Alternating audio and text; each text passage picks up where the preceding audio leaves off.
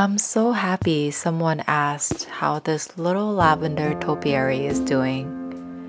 It's chilling by itself in this little corner. First, let's clear off all the jasmine vines that are trying to grab onto the poor little guy. The lavender is doing just fine without that old stake stuck to it. The fresh growth is slowly developing. Nice to see that it's blooming now.